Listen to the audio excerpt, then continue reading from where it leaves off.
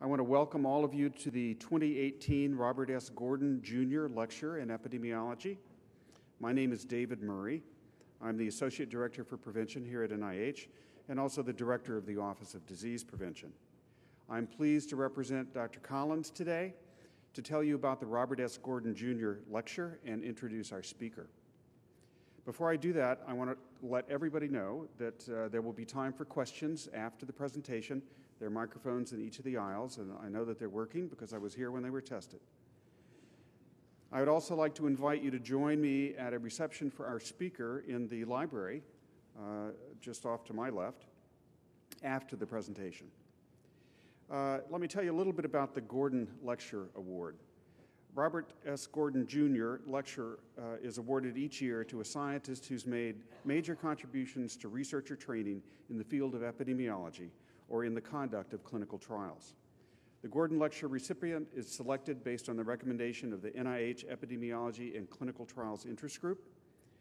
This is the 24th year that the Office of Disease Prevention has sponsored uh, the Gordon Lecture. The list of prominent scientists who have previously been recognized and received this award can be found on our office's website, prevention.nih.gov. The Gordon Lecture was established in tribute to Robert S. Gordon Jr., for his dedication to the field of epidemiology and his distinguished service to NIH. Over the course of 30 years, Dr. Gordon served in numerous senior leadership positions, including Special Assistant to the Director, Chief Advisor for Clinical Practice and Research. He was an early organizer of efforts to address the emerging problem of HIV and AIDS and became a key coordinator of AIDS research at NIH. For the last 10 years of his service uh, while working here at NIH, he made important contributions to policy and management issues regarding epidemiology, clinical trials, and the health effects of environmental hazards. Today's speaker, Dr. Ana Diez Roux, received her MD from the University of Buenos Aires in 1985 and an MPH in epidemiology from the Johns Hopkins School of Hygiene and Public Health in 1991. She earned her PhD in health policy and management in 1995, also from Johns Hopkins. She began her academic career a little further north in Columbia, at Columbia University in 1996 as an assistant professor of medicine and epidemiology. She moved to uh, the University of Michigan as an associate professor of epidemiology in 2003 and on to professor of epi uh, there in 2006. While she was at the University of Michigan, she was a research professor in the Institute for Social Research, director of the Robert Wood Johnson Health and Society Scholars Program at Michigan, and uh, served as the director for the Center for Social Epidemiology and Population Health. She became chair of epidemiology at uh, Michigan in 2012. She moved two years later to Drexel, 2014, as dean and distinguished professor of epidemiology in the Dornsife School of Public Health. She's an elected member of the National Academy of Medicine, the American Epidemiologic Society, and the Academy of Behavioral Medicine Research. She is known for her research on the social determinants of population health and the study of how neighborhoods affect health. Her research areas include social epidemiology and health disparities, environmental health effects, urban health, psychosocial factors in health, cardiovascular disease epidemiology, and one of my favorite topics, the use of multi-level methods. Her presentation is entitled Advancing Population Health, Five Propositions and a Research Agenda. Uh, I look forward to this talk, and I'm sure you do. Please now join me in welcoming the 2018 Robert S. Gordon Jr. Lecture Award recipient, Dr. Ana Diez-Roux.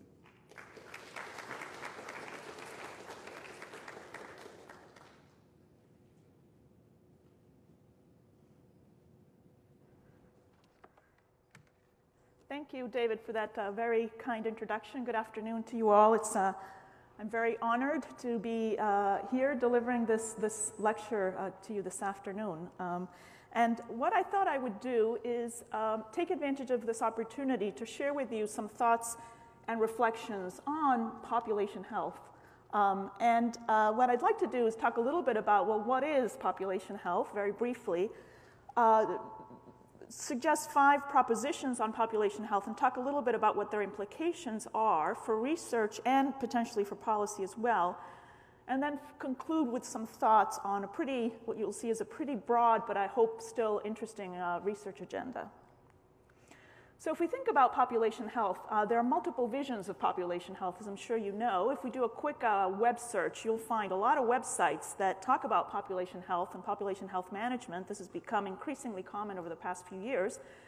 And most of these, uh, uh most of these really are, are, are focused on a, a pretty narrow, what I would call a pretty narrow definition of population health which is an approach that tracks outcomes of collections of patients in order to assess and improve quality of care and increase cost effectiveness of healthcare interventions.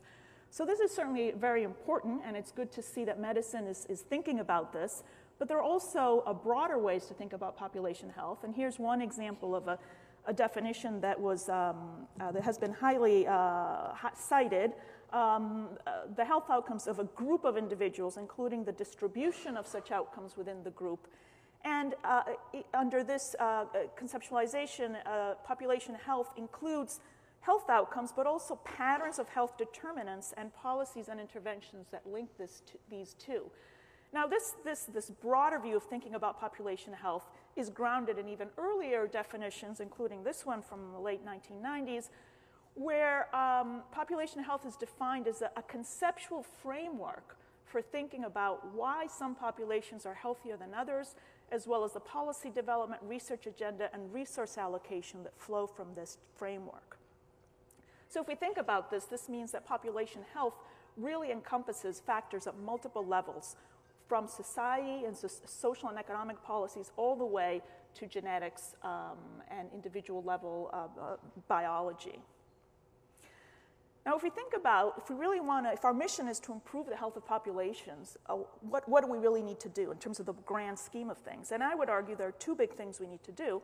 One is shift population patterns. And this, this uh, harkens back to the work of Geoffrey Rose, which I'm sure many of you are familiar with, this idea of modifying whole distributions of risk factors.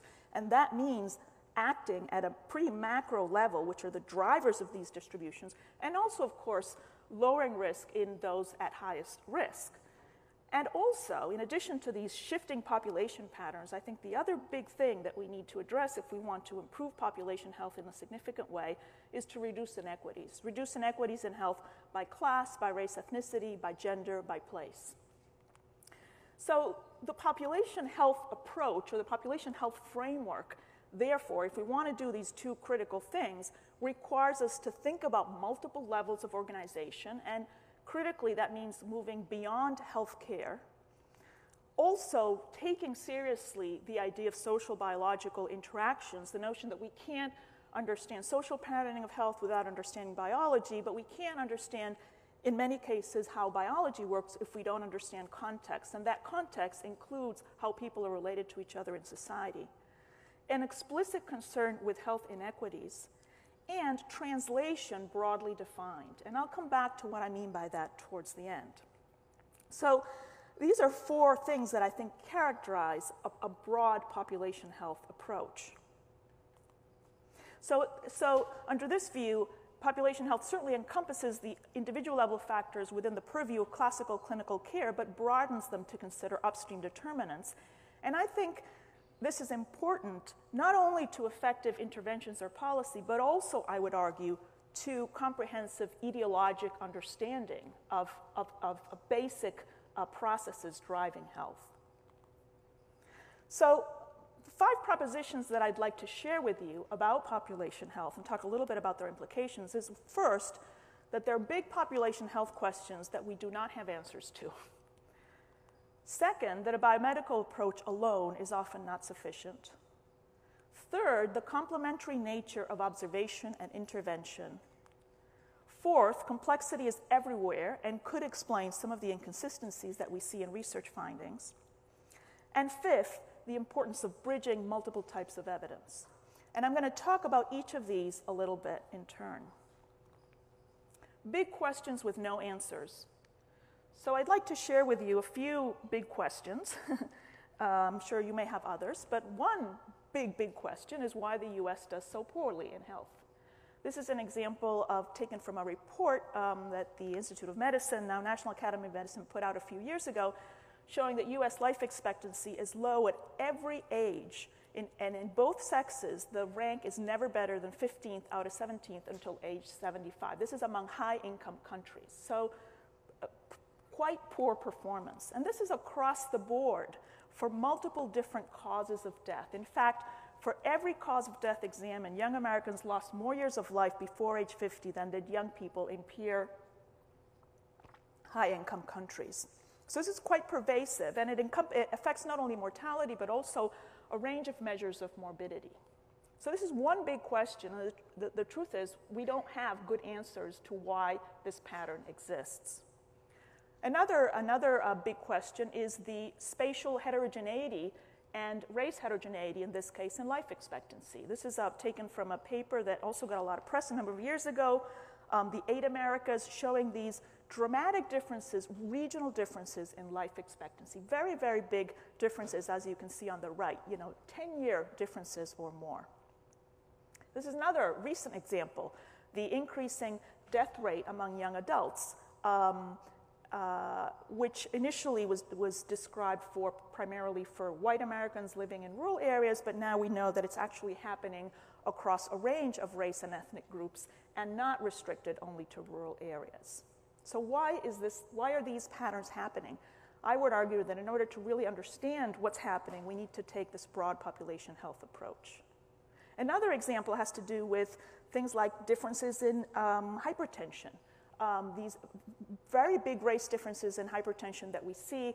The uh, uh, so, social factors don't fully explain them, at least the way we're looking at them. Genetics doesn't fully explain them, the way, at least the way we're looking at, at them either. And so, what, what's going on here? How can we move beyond the, the approaches that we've been using to really integrate in order to really uh, shed light on, on the drivers of some of these differences. And, and not only in the prevalence, but also in things like, uh, like uh, control of, of high blood pressure. Very, very big race differences, which, for which we still have no compelling explanations. My second proposition that is that in, in understanding these big questions and ma- many other questions, potentially in population health as well, the, the biomedical approach is often not sufficient. And, and how do we move beyond biomedicine? And, and I'd like to describe two ways, um, two examples. There may be other ways, but these are two examples. One has to do with enhancing understanding by integrating social context with genes and epigenetics. And the second has to do with enhancing actions and interventions by integrating social context into clinical care. And I'm going to show you a, a few examples of what I mean by this. This is one uh, example of a, a, paper that uh, one of my former doctoral students, Paul Christine, worked on, um, looking at the interactions between a genetic risk score for diabetes and neighborhood, uh, neighborhood food and physical activity environments. And so, what this figure shows is that if we look at the independent effects of, of having above the median diabetes uh, genetic risk score and above the median uh, adverse uh, uh, neighborhood environments, we see that the combined effect of, of, of, having both factors is more than what we would have predicted from their independent effects. So, this is what defines, both on an additive and on a multiplicative scale, this is what, what defines interaction of effect modification. So, you know, if these findings, of course, are replicated, what this would suggest is that in order to understand both the effects of the genetic risk score and the effects of the neighborhoods, we need to really look at them both, um, both together and that the environment, uh, in looking at gene by environment interactions, should encompass more than the traditional age and gender, for example, and behaviors, to also think, think about things in the, uh, in the real external environment, such as neighborhood context. Another example, of course, is epigenetics. This is a uh, early paper showing how uh, identical twins diverged over time in their epigenetic profiles, and clearly this means that there are environmental influences on these, epi, on these epigenetic markers. Um, uh, but we could get more specific than this. This is an example of a conceptual model from a, a, a project uh, led by uh, Jen Smith that was recently funded, um, looking at the relationships between socioeconomic status and neighborhood characteristics uh, DNA methylation and gene expression in relation to cardiovascular risk. And just to show you a few uh, preliminary examples from this kind of work, uh, this is an example looking at the relationship between various social factors childhood socioeconomic status, adult socioeconomic status, neighborhood social environment, and neighborhood disadvantage uh, in relation to uh, methylation of stress reactivity and inflammation uh, related genes. And what we observed is that there's, there's a patterning of, of, of methylation uh, associated with these exposures. Um, and and this, this patterning is in turn uh, related to gene expression. So, of course, what this means, we need, in terms of the disease risk, is, is something that needs to be further investigated. But it, it appears that we can detect some, some signals of the uh, social uh, environment on, um, on, on, meth- on epigenetic markers. So the other, so, so in order to fully understand uh, the, the, role of epigenetics as a mediator of, of other factors, we really need to think about uh, social factors in interaction with these, with these uh, processes. Um, the next uh, way of thinking, uh, moving beyond biomedicine that I wanted to touch on has to do with integrating social context into clinical care. And you may have heard about this because there's been a lot of interest in thinking about, well, can, can the addition of psychosocial and social factors uh, be used into, uh, into clinical practice or electronic health records be used to enhance uh, patient care. Um, and this is just some examples of news items about this. Um, and and uh, there was a report from the Institute of Medicine uh, as well uh, a couple of years ago that recommended a series of domains that might be considered for systematic inclusion into electronic health records um, that, that might be useful in terms of potentially provide benefits to clinical medicine in terms of greater precision in diagnoses and treatment, uh, identifying important factors, referrals, uh, and tailoring and targeting of interventions in clinical research, and also potentially provide benefits to public health through improved um, the use of electronic health records uh, linked to these factors for surveillance, etiologic research, and policy evaluation. So there have been a number of publications that have done, you know, still very pretty simple things to uh, add uh, usually socioeconomic information based on neighborhoods to electronic health records in order to see the added value of this information in terms of uh, prediction uh, or in terms of uh, risk prediction, in terms of uh, out- outcomes, for example. Um, and, and, of course, there have been many, there's been interest in, in, thinking about this as an integrated data resource. one example to create, you know, on the left there, to create a platform uh, that integrates geographic data with, with electronic health record data, and of course, the interest in the precision medicine initiative of linking uh, genetic and other individual level patient data to uh, social and environment data.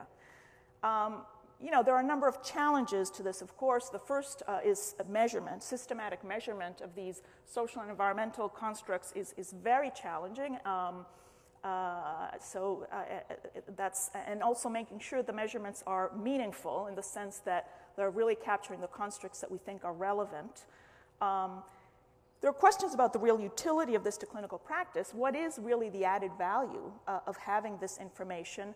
Uh, what is the added the value for research? There's the um, concern about uh, selection bias potentially. Um, which, you know, uh, you know, obviously depending on the, sam- the, the size of the cohorts, that there may be some amelioration of that, but it's still a, a concern for many outcomes.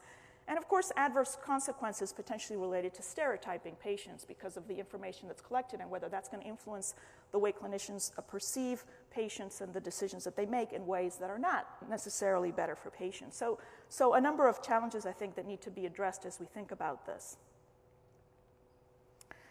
The third proposition that I wanted to share with you is the complementary nature of observation and intervention. And I think, that's, I think this is really uh, important because I think we tend to think of observation and intervention as two completely separate things when in fact um, uh, they're, they're, not.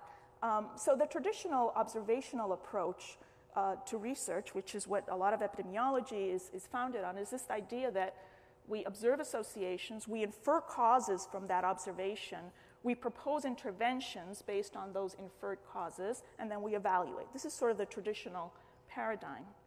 Uh, but there are, of course, many challenges in drawing policy relevant conclusions from, the, from, you know, from this circuit, from these observational studies, which, I'm, which you are, I'm sure, familiar with. Um, it, just the basic challenge of causal inference from observational data uh, and the possibility of incorrect causal inferences, cherry picking, only the positive stuff gets published the, the importance of replication and the difficulty in replication, particularly when different kinds of measures are used.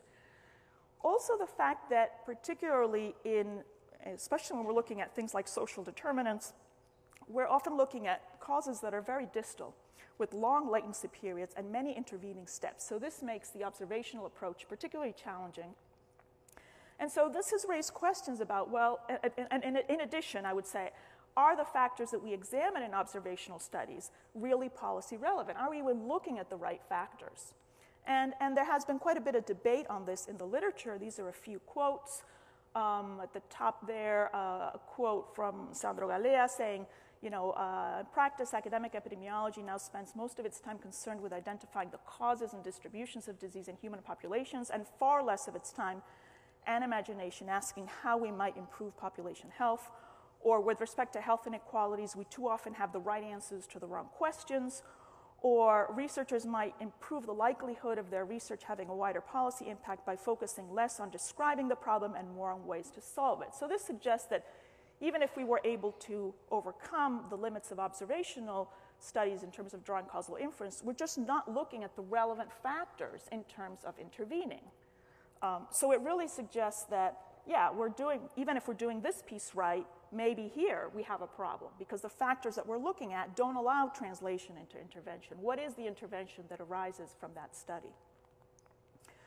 So, what can we do to increase the relevance of observational population health research for policy?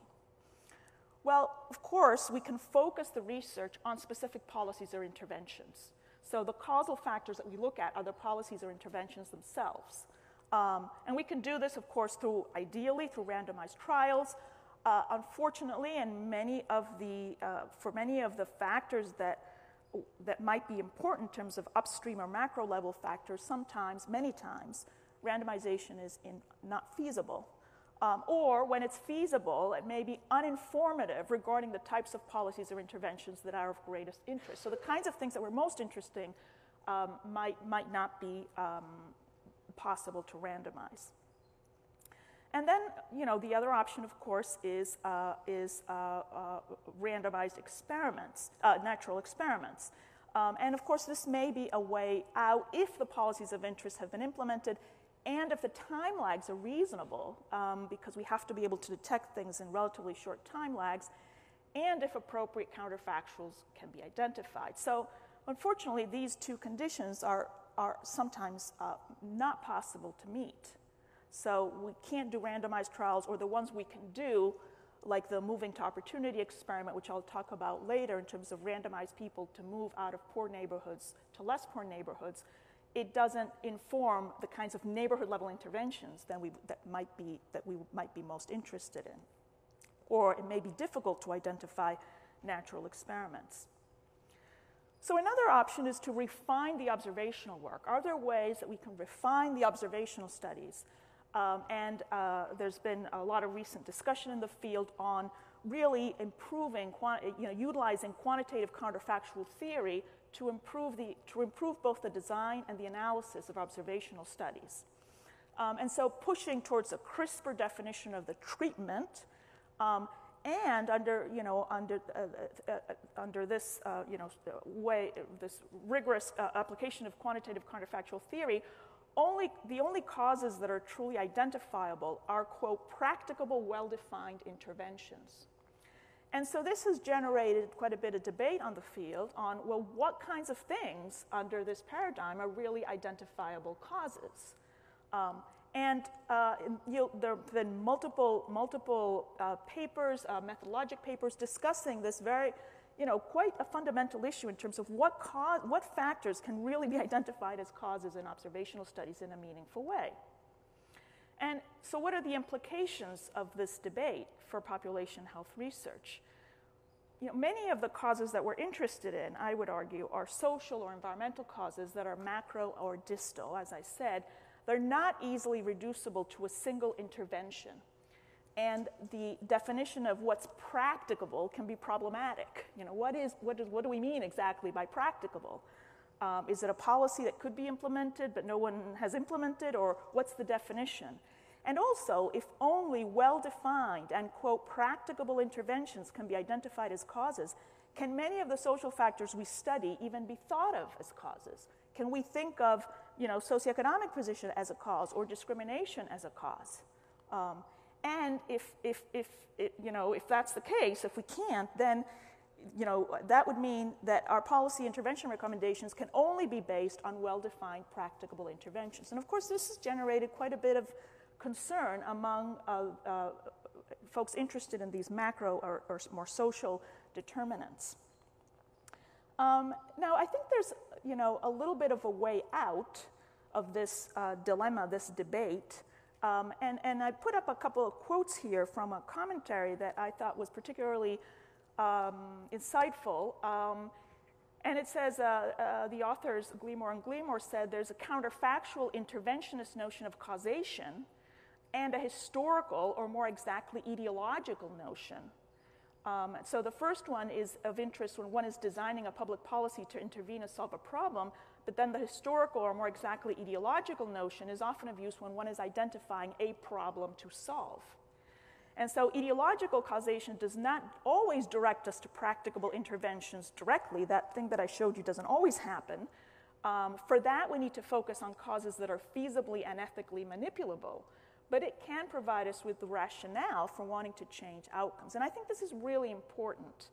And in fact, you know, one could think about questions that are about etiology and questions that are about intervention. And the, the you know, the intervention questions are more about specifically about these practicable, well defined interventions, but I would argue that there's also an intersection between these two types of questions. Let me, let me tell you a little bit more concretely what I mean. Um, you know, we could create sort of a, a gradation of causes that go from broad antecedents leading to multiple causal pathways to specific characteristics to, to a hypothetical intervention to a practicable intervention, that is one that we think we can do now based on the current context, uh, to a practicable intervention under specific circumstances. And as we move up in this list, we are, you know, the breadth of the causal question increases, and as we move down, the specification of the process becomes uh, more uh, greater. Let me give you an example. Socioeconomic position, broad antecedent leading to multiple causal pathways, specific characteristic, education, a hypothetical intervention, increase years of education, a practicable intervention, provide economic incentive to continue education, and a practical intervention under specific circumstances, provide economic incentive to continue education to students in community colleges. So there's really, this is really a continuum um, where uh, etiology, you know, we go from etiology broadly defined to what's really implementation research at the, at the, at the more specific end. So, so this is why I think thinking about this complementary nature of observational etiologic research and intervention research is, is useful and moving beyond this slightly artificial dichotomy, I would argue, between these, these two things. And I'll return to this idea at the end when I talk about different kinds of evidence that might be relevant for population health. The fourth proposition I wanted to talk to you about is the idea that complexity is everywhere. Um, and, and, let me give you, uh, you know, very schematic, made-up examples, but that I hopefully will be, um, will be helpful. So if we think about genes and the environment, I mean, let's imagine there are certain genetic factors that uh, are pre- you know, predispose people to be more physically active. I'm sure if they haven't been found yet, at some point they will be found. Um, there are, there's ancestry and, of course, parental genes. Uh, parental genes are, of course, related to the genes of the offspring. Ancestry may be correlated with genetic factors. There's culture. Um, there are family norms that may uh, modify the effect of genetic factors. Um, and, and also, there's a feedback loop. Family norms affect physical activity, and physical activity in turn reinforces certain norms. And there are environments and peer groups that play a similar role. So, here, isolating the effect of the gene or isolating the effect of the family norms is quite artificial because it's hard to understand the effect of this factor without understanding the system on, in which this factor is embedded. Another example, the impact of neighborhoods in health, an area that my group has worked in quite a bit. So, uh, personal resources and, and, and, and, potentially preferences affect residential location. This may be modulated by discrimination. Uh, uh, residential location affects um, area, material, social, and advocacy resources, which in turn may reinforce residential segregation. These um, area resources affect the location of stores and physical activity resources, which in turn reinforce some of these social and physical characteristics. These location of resources may affect health behavior, potentially diet, physical activity behaviors, but then the behaviors of people in the neighborhood affect the resources there as well through a reinforcing mechanism. And then we have other factors like stressors and coping mechanisms that may play modulating roles as well. So, similarly, here we have a system. Um, so, and these systems, the presence of these systems can give rise to what's been called policy resistance, which is the tendency for interventions to be defeated by the system's response to the intervention itself, or when obvious solutions fail or even worsen the situation. And I'm sure you can think of examples where this has happened in terms of well intentioned interventions that have either not worked or even made things worse. So the question this raises, well, these, so, so these are really dynamic systems. and the feature, what I mean by dynamic systems is uh, that systems where there are factors at multiple levels, where there are heterogeneous and interdependent units, people, for example, uh, where there are feedbacks. Uh, this idea of endogeneity characterizes uh, all of these systems. Nonlinear effects, this idea that intervening at one place can cause effects uh, much later or uh, uh, uh, distant in space and time. And this notion that you can have multiple paths to the same outcome. So people can get cardiovascular disease through several different pathways. There's not a single pathways. And similarly, the same cause can lead to different outcomes in different people, depending on uh, a range of other circumstances. Um, and this results in this idea of emergent patterns and that cannot easily be reduced to independent effects. So these, emer- these emergent patterns are not magical things, They're, they emerge from the, the functioning of the system. Um, so this, this, you know, if you think about this, this probably characterizes a lot of health stuff. Uh, so a lot of population health problems. Um, so the question is, um, you know, should dynamic systems modeling approaches be part of the population health toolkit? And I'll, I'll return, what, is, what would that mean, um, practically speaking? Um, and I'll return to this uh, a little bit towards the end. And the fifth proposition has to do with this idea, and this uh, that, that uh, in part because of the, the complexity, um, that we really need to bridge multiple sources of evidence to understand the drivers of population health and to figure out what the best interventions might be. And I'm going to show you what I mean through an example from our own work, which has to do with the impact of neighborhoods on cardiovascular disease. So, just a you know a very brief introduction. Why even focus on neighborhoods? Well, uh, you know neighborhoods are potentially context for both physical and social exposures that may be relevant to cardiovascular disease and other, and other health outcomes. Um, they have the potential, if we find that they're uh, causally related to outcomes because people are strong, are strong, you know, segregated into neighborhoods based on class and, and race and ethnicity. If neighborhoods uh, turn out to be important, neighborhood factors could be very important contributors to health disparities and also because they have public, potentially public health and policy relevance, because there are specific interventions that we could propose on neighborhoods. In fact, uh, neighborhoods are changing all the time uh, for a variety of reasons, and we could capitalize and uh, you know, promote some of those changes to improve health. So that, this is what motivated uh, uh, uh, you know, a whole research agenda on neighborhoods and health that began many years ago now. And the first generation was really about secondary data analysis of geographically linked epidemiologic studies using multi-level analysis. And, and census areas were used as proxies for neighborhoods. Um, and aggregate census socioeconomic characteristics, such as indices of deprivation, were used as very rough proxies for the actual etiologically relevant neighborhood attributes. And this is you know, an example of a paper that we published now many years ago that did just this, looking at the ARIC study, uh, showing that uh, neighborhood disadvantage was associated with increased risk of uh, developing coronary heart disease after controlling, to the extent that we could in an observational study, with uh, so- socioeconomic factors that we knew sorted people into different neighborhoods. But this, of course, raised many questions about, you know, was this causal? And if so, well, what is it about the areas that's important? Because th- that's what we need to know in order to intervene. How, you know, how do these area features exert their effect? What's the spatial scale? What do we mean by neighborhood? It sounds vague. What are the time scales? And most importantly, can we change these characteristics and show an effect? And so this led to a, a, what I call Generation 2 studies that really tried to measure direct, you know, do direct measurement of potentially health relevant neighborhood attributes through surveys, through uh, novel uses of surveys, through GIS and locational data, and through systematic social observation, which is a technique borrowed from sociology, to characterize, to observe various features of neighborhoods, and then, and then, and then combine the data in, in appropriate ways to improve the validity and reliability of the neighborhood level measurements. So there's been a lot of, a lot of development in the measurement aspects.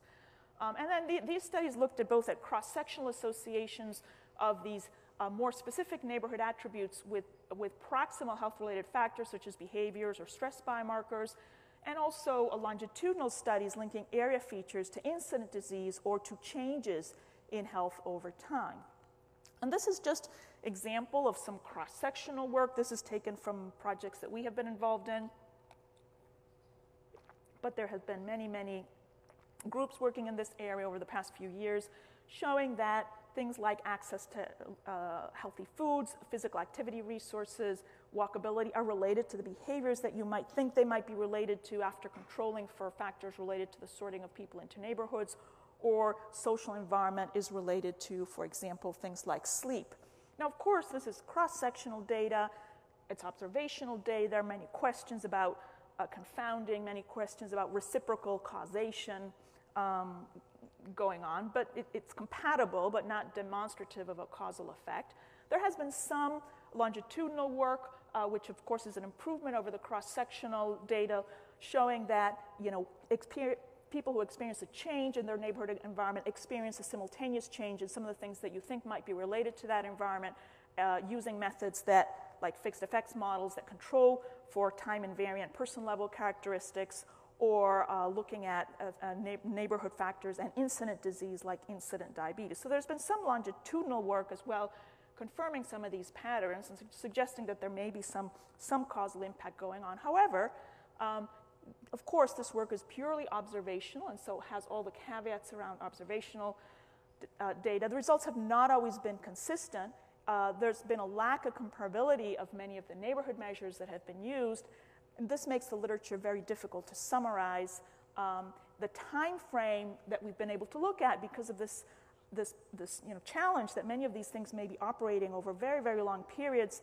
The time frame that we've looked at may not always be the most causally relevant time frame. So we have to make assumptions like that what we measure today is probably what these people have experienced over a longer etiologically relevant period, which may or may not be the case. And so this means that the implications for intervention of this work you know, to many have, um, have, have raised uh, questions. So naturally, the next step in the observation would be to do an experiment, right? Do an experiment and see whether some of these things that we saw observationally, if we randomize two, two groups, do we see an effect? And there, there haven't been many experiments, unfortunately. This is one example of an experiment moving to opportunity experiment where uh, individuals uh, were randomized to move to a low, uh, from, from, a, from a poor neighborhood to a less poor neighborhood. And um, this was mostly women, uh, low income women. And, and the, the study documented improvements uh, in BMI and in indicators of uh, prediabetes. However, interestingly, the conclusions of the paper uh, you know, highlight, yes, the opportunity to move from a neighborhood with a high level of poverty to one with a lower level was associated with modest but potentially important reductions in the prevalence of extreme obesity and diabetes, but the mechanisms underlying these associations remain unclear but need further investigation. And this is really important because these mechanisms are going to tell us, well, if we want to do an intervention that's not about moving people, which may not be the feasible intervention in terms of addressing these determinants of health, we really need to understand the mechanisms because that will tell us on what factors we should be intervening. So, this is an example where the experiment motivates new and observations. Now, experiments sometimes yield unexpected results. And just to give you a few examples, the same MTO study showed some unfavorable short term effects in some groups, for, for, example, particularly in young boys, in terms of behavioral outcomes. Um, cash transfer programs, which are programs where people are randomized to receive low income families are randomized to, to receive uh, income transfers, have shown some adverse effects, for example, on BMI. Um, and some neighborhood level interventions uh, to improve uh, food access have shown uh, little or no effects. So, what does this mean? This means that we need to understand why these interventions work and why they don't work, or, or under what conditions they might work. And this brings us back to this idea of systems, because the, the, the, the, the, the effectiveness of an intervention may depend on the broader context of factors within which that intervention is, is, is embedded. And so a systems approach is quite different than the traditional paradigm in health research because it starts with defining the components of the system, which requires abstraction um, and setting bounds. So it's not about putting everything in, it's about putting what we think is most important in terms of driving the dynamics of the system. Developing a formal model in order to simulate, integrate existing knowledge, simulate and explore the functioning of the system, and answer some fundamental questions about dynamics, and then draw conclusions about the drivers of patterns and the plausible impact of interventions under different conditions. So, this can give us different kinds of insights into causal processes, test interventions which may not be feasible in the real world, identify new points of interventions that we hadn't even thought of, and also identify and understand the reasons for unexpected effects. So, I, so and also the type of question changes. So, it changes from a question like, is proximity to supermarkets as a proxy for healthy food access associated with better diet after adjustment for individual level SES, the traditional epidemiologic approach, which has, I think, has been useful, but it doesn't give us a complete answer, to something like what is the plausible impact of health inequalities of a strategy to subsidize, subsidize the location of supermarkets under various spatial patterning scenarios? Or from what markers of genetic variability are associated with BMI do environmental factors modify this relationship? Two, what are the plausible contributions of gene environment correlation and gene environment interaction to BMI differences by income? How is this modified by the degree of contagiousness of behaviors linked by, to BMI? So the question changes. Uh, it becomes a much more a nuanced question and much more conditional on other things in the system. And so there, we have been some attempts to employ these kinds of strategies to the study of neighborhood effects. This is one example that uh, Amy Auchincloss colleague of mine uh, led a number of years ago. Uh, and I don't have time to get into the details of this, but basically we used agent-based models to, do, to explore two questions. One, about whether simple spatial segregation absence any differences in people's preferences or price differences across neighborhoods, whether the spatial segregation alone was sufficient to create income differences in diet, and then how various interventions, for example, price interventions, um, or uh, health education to modified preferences could modify these differences. And so, you know, we, we had a, a model that included households and stores. Assumptions, of course, are in the model. The model, however, integrates all available information, and then the model can be used to look at how income differentials change under different scenarios. So, of course, you know, there are many assumptions built into this approach. There are issues about do we have the data to inform these kinds of models? When does the model yield new insights that you wouldn't have predicted from what you already put into the model? Um, and, and often this raises more, in the process of developing these models, both conceptually and in terms of the, the, the, operationalization, we realize all the gaps we have in knowledge, things that we really don't know, that then we have to go back and do observation, better observation, or better experiments to understand so that then we can improve the model. And so, uh, so it, the systems modeling, in fact, build, you know, feeds back into the need for experiments and observations. And then, of course, in, in public health um, and health generally, uh, there's often action that we have to take, even in the face of incomplete evidence sometimes, because, it's, uh, because we have to. Um, and you know, uh, returning to the neighborhood example, these are some examples of actual policies or interventions that, for example, in, increased access to healthy foods in, um, in food deserts. And, and, and uh, you can see that sometimes the results were positive, sometimes, sometimes they weren't. And so this is a situation where it's the simple evaluation of action, think policies that were implemented, can also suggest uh, uh, new questions that we need to go back to in observational studies and experiments or incorporate into systems modeling. So, so I would argue that really we have an evidence generating system and that we have to think more about this sort of quadrangulation of evidence as a way to enhance our ability to understand these very complex population health problems. That a single approach is not going to be sufficient. And we're not that used to doing this kind of uh, integration, I think. So, in the few minutes that I have left, and sort of building on these five propositions, uh, what I'd like to do is share with you sort of a, a broad research agenda um, to, uh, to advance population health research. And the first area uh, that I'd like to say a few words about is, is etiologic research. I, I, think there's, I think there's still a lot to learn in terms, about, in terms of etiology, but etiology in the broad sense, um, etiology in, uh, in terms of linking health and health disparities to distal and upstream determinants. I think we have a lot of a lot of uh, uh, good information. Some of it is more descriptive than, than, than, than causal.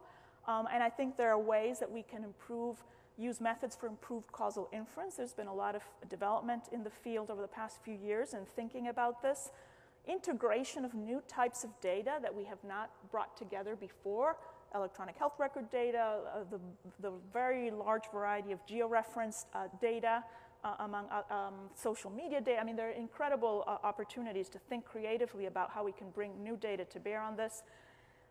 Incorporating this notion of feedbacks and dependencies, so this systems thinking and systems tools into this etiologic research, particularly of these more distal kinds of factors.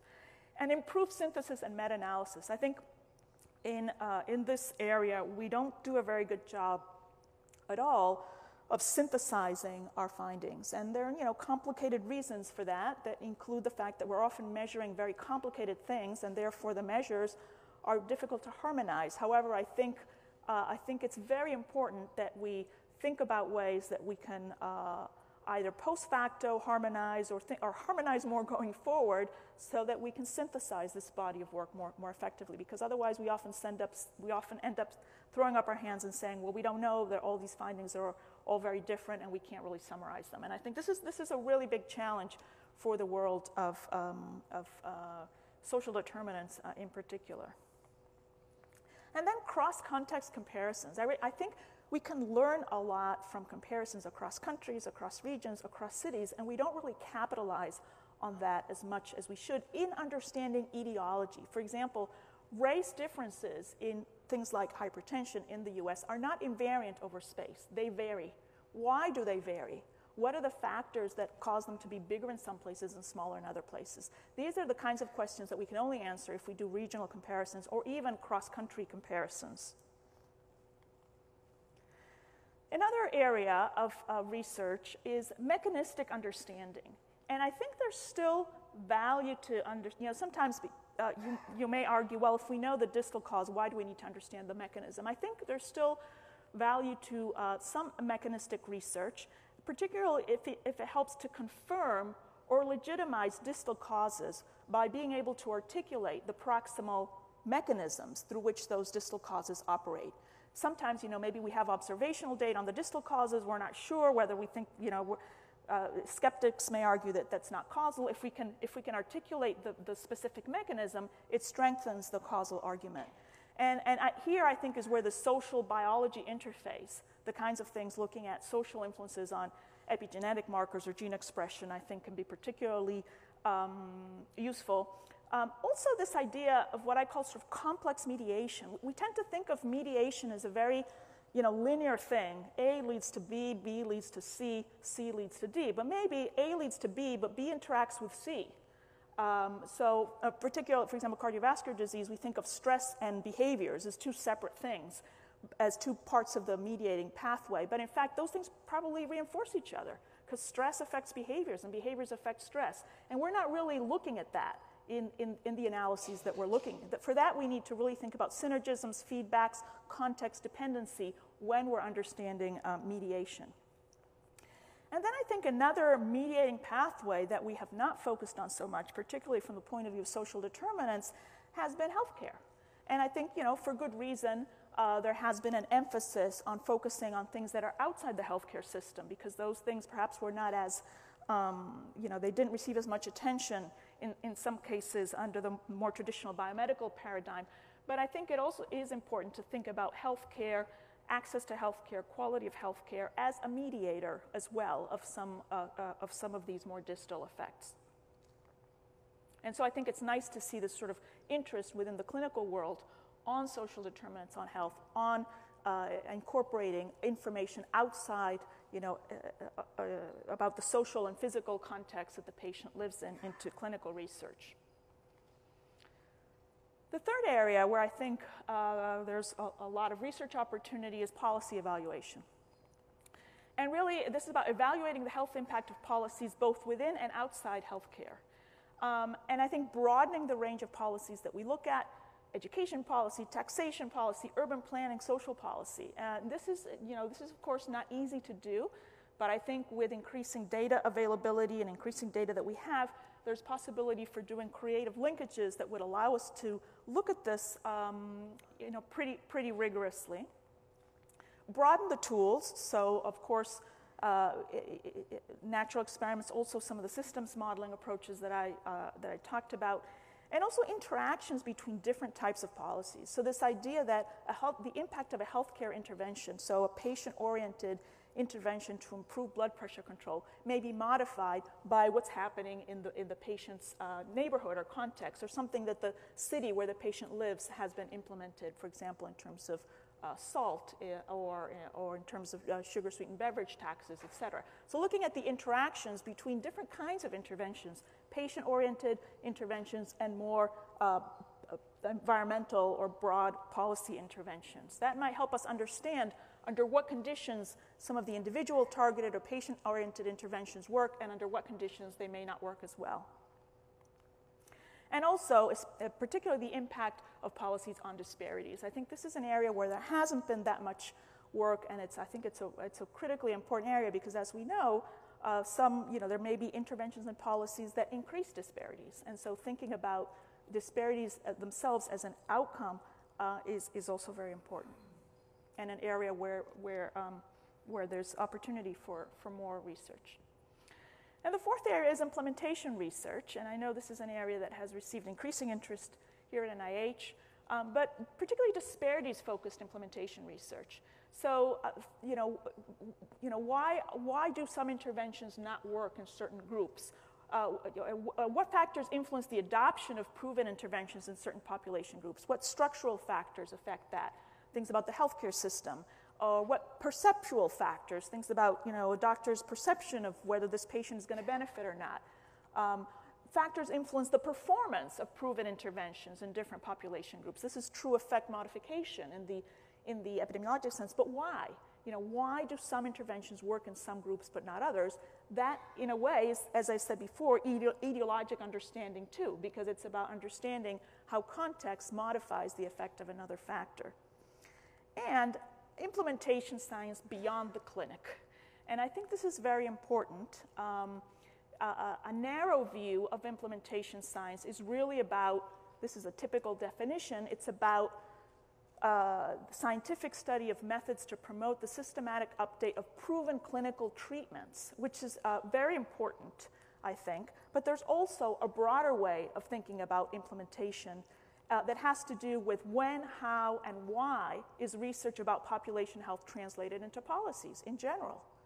Um, uh, what are the perceptions about the causes of health or ill health among the public and policymakers? How, do that, how does that, what drives those perceptions? Because that's critical to determining what policy actions are prioritized or supported by the public. What's the process of communicating and understanding evidence about drivers of population health and health disparities? This is more, um, more um, qualitative research about understanding how the evidence that we can get out there uh, understood and incorporated.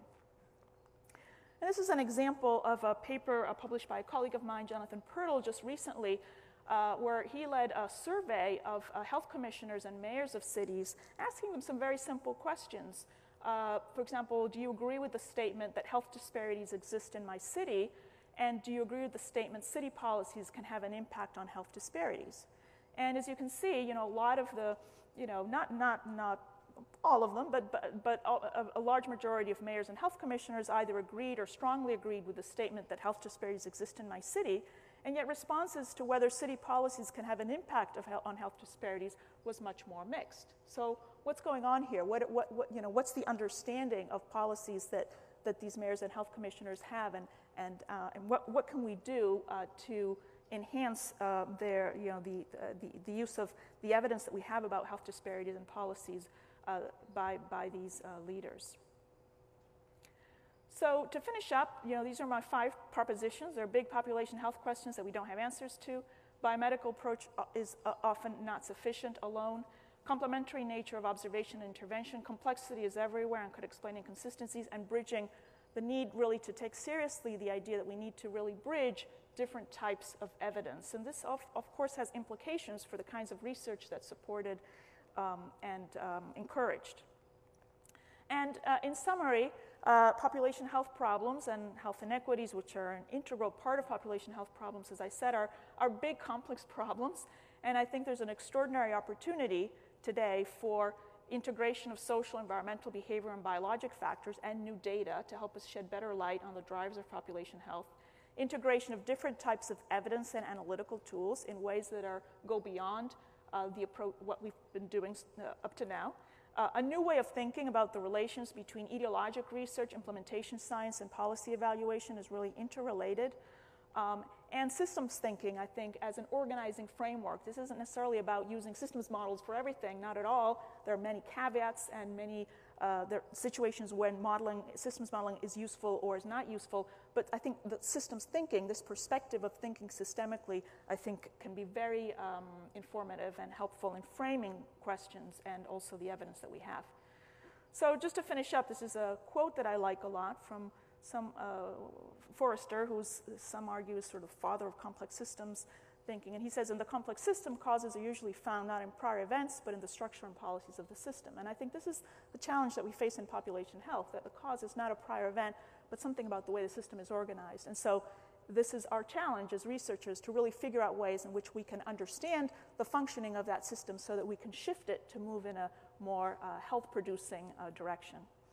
Um, and I'd just like to thank many, many people. I'm sure there are many people on this list who are uh, many people who are not on this list who should be on it, but these are many collaborators and colleagues I've had over the years who've contributed to some of the work that I showed you today, and of course, uh, funding from NHLBI, NIMHD, OBSSR, and the Robert Johnson Foundation, among others. So thank you very much, and I look forward to your comments or questions.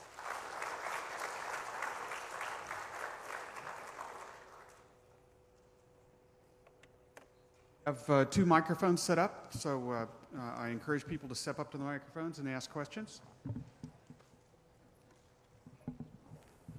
Well, congratulations for looking at the complex issues of healthcare. So, what you said makes sense, but it is below the head level. It is so what? I'm sorry? Below the head level.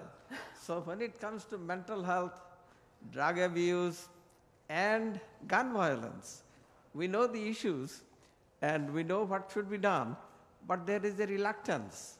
So, in those cases, all these hypotheses and all these uh, conjectures and how to approach them, it should be working, but it doesn't. And also, there's a cost issue which you did not mention at all because all these things cost money. So, how do you deal with at least the issues of gun violence, say? Well, you're alluding to another big issue that I did not talk about, obviously, which is the fact that often we have evidence to support certain kinds of policies or actions, but for, num- for you know, evidence is not the only thing that affects what's done, obviously. there are, it's much more complicated than that. It would be very naive to think that decisions about policy are made only based on evidence or lack of evidence. There are a whole bunch of other factors that are influencing, and I think this is part of the debate that we engage in as as scientists, but also as individuals and as citizens in terms of um, creating the conditions so that the right, what we think are the right policies are implemented. But it, it has to do with many uh, complicated social, economic, and political issues. So I, I, think you're right, and I did not. That this was does not address that. It's a whole other very important issue. Yeah, but then when it, the question comes, the funding I heard has been completely cut out from uh, the issues of surveying gun violence, looking at the issues and how to intervene. So again, there is a there is a significant issue that is not tackled, and there is a reluctance. So I guess somebody has to stand up with some courage and attack. And Yes, thank you and right. good luck. Thank you. One of the things that you um, are proposing, uh, I think, is to, uh, at least this was the way I wrote it down. You can correct me if I uh, didn't get this right. Spend less time just observing and more time intervening. Would you say that's a fair? Well, I think, I'm not, I, I, I think what, the point I was uh, trying to make is that we need to do both. And that we can, that we can uh, learn about the potential for interventions from observations that are well analyzed, and that we can learn about etiology from observing the impact of interventions. Um, I think we need both. I think, I think there's some kinds of questions for which we still need, you know, ri- the only way we're going to be able to answer them is by doing better, more rigorous observations. And there's some questions in which, yes, we should intervene, but make sure that we're evaluating those interventions in ways that help inform our, our etiologic understanding in addition to the impact of that specific intervention. I, I also heard you arguing for um, uh, using observational methods uh, to evaluate interventions more than uh, perhaps we do.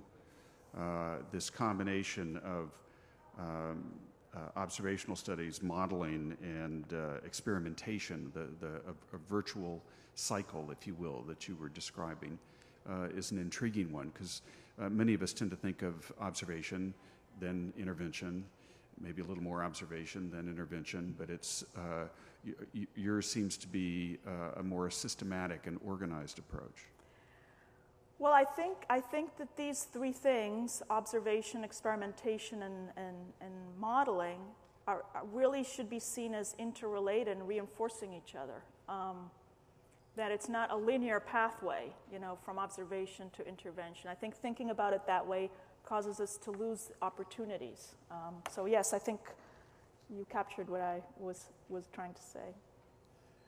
Hi. Uh, in your opinion, uh, do you think we need um, different standards of scientific rigor for systems in which there are no truly independent variables, like the systems that you're describing? Do I think we need different Different standards of scientific rigor, because that- that's a big discussion we're having right now at NIH about, Yeah. you know, scientific rigor and and designing cohorts in such a way that you get statistically significant results and things like that. But in a system like you're describing, where there really are no truly independent variables, it, it, you know, the question is, do you need a, a totally different kind of math for that, or do you apply the same math differently? Well, I think that's a very, very good question that you're raising. I think we should always aspire to the maximum scientific rigor, whatever we're doing. However, we should not assume that the only scientific rigor is a randomized clinical trial. There are, there are ways to do rigorous science that involves observation, or that involves systems modeling, or that involves experimentation. Um, so there's no, you know, uh, scientific rigor is not only an experiment. Right. Thank you. And in fact, sometimes we can be misled by the results of experiments, or we may not be able to explore the most important questions using experiments. So, if we really want to take seriously improving population health, we need to broaden the set of tools that we're using, and of course, use them rigorously. Absolutely. All of them can be used rigorously or not rigorously. That's not the tool itself, it's how it's used. Thanks very much. You gave us an awful lot to think about of, of things we need to, uh, to work on. Um, the, can I ask you to, to just speculate on uh, what, how grants should be packaged uh, that would make, uh, make this work move forward? I mean, we have a lot of mechanisms, but traditionally the most prestigious and most of our money is going into R01s discrete questions, uh, five-year max, and the rest. How does this fit with what you see as the research Yeah. agenda? Well, I think you know the the the, the, the system, the sort of investigator-driven um, award system, I think has has many benefits, and I think it has yielded you know very important work. At the same time, I think it does incentivize a certain type of research, right? Uh, and it incentivizes uh, research that is uh, very narrowly focused, that builds you know, is not super risky, something that, you know, that the investigator is quite confident they can do and deliver on. And in fact, that's what they were evaluated on, in part. Um, it, it, doesn't encourage exploration of new methods um, as much. Um, it doesn't encourage, um, you know, working with the real world of very messy data that we have out there. So I think um, you know, thinking about other mechanisms, including, you know, other, you know, other kinds of broader initiative centers or other kinds of infrastructure, kinds of, uh, of, of, of awards that will allow building capacity to do this broader, you know, this broader research agenda is, is, I think, is really important because if we don't do it, I think it'll be very difficult to break out of the, you know, the traditional thing that we've been doing for so long. And, and it really, I think it really incentivizes investigators to keep doing what they're doing over and over again, honestly. Um, and and, and yeah, not always. I mean, uh, the, obviously, there are many examples of very innovative research that has been funded using the R1 mechanism, but I think it does have that potential uh, disincentive.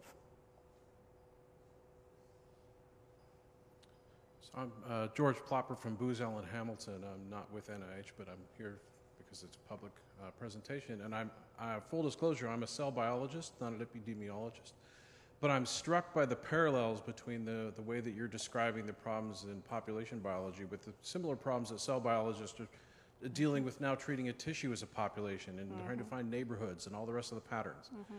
And as, as I'm following that thread through, I can say that at least in the field of cell biology, some time ago, we hit an inflection point where the more data we gathered, the harder it was to use it. Uh-huh. And the consequent response is the data commons and the atlasing.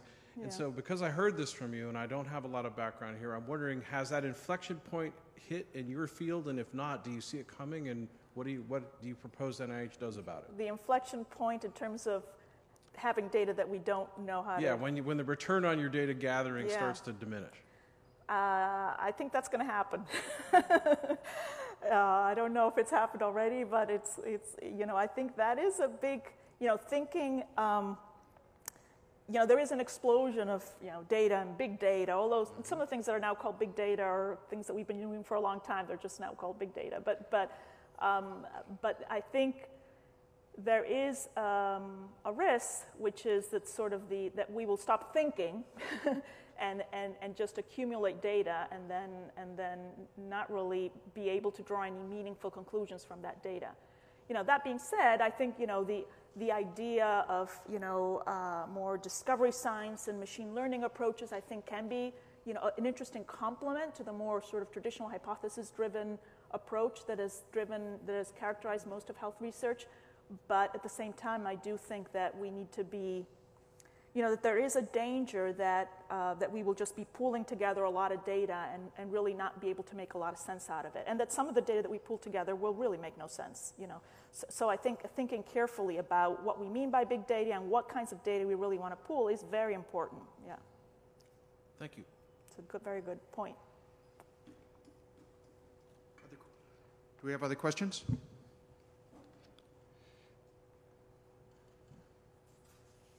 Yeah, I'm just curious. You've, you've kind of hit an inflection point, I think, in most of the sciences where big data is kind of overwhelming, but there's a common sense way of dealing with that.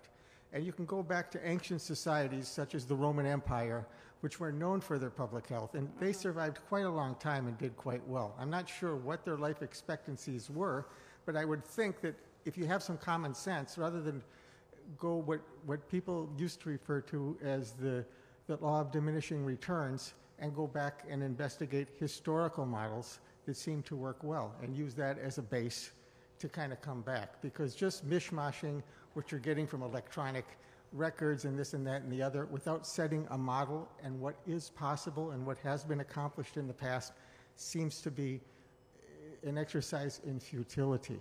No? Yeah, it I mean, seems to me if you don't have a model you're shooting for, if you say, for example, we have this neighborhood, this, that, and the other, this is a realistic goal for this neighborhood, and then do your, your, your investigation in terms of that. And my other point was just historical models might be of some value. Maybe not, I don't know. But the Romans seem to do pretty well for quite a long time, eh? Yeah, yeah. I mean, I, I think certainly. I mean, I wasn't. I didn't intend to imply that um, that there's that there's no utility to uh, to all these rich data sources that we're able to pull together. I think there's a lot of utility. I think we just have to be smart about using them, and maybe looking at some historical examples may be helpful. Okay, well, thank you. I'm going to encourage everyone to join us in the uh, library. We have some refreshments. Uh, you can have a chance to talk to uh, uh, Dr. Diez-Roux uh, at uh, further link over there. So please join us in the library. Thank you.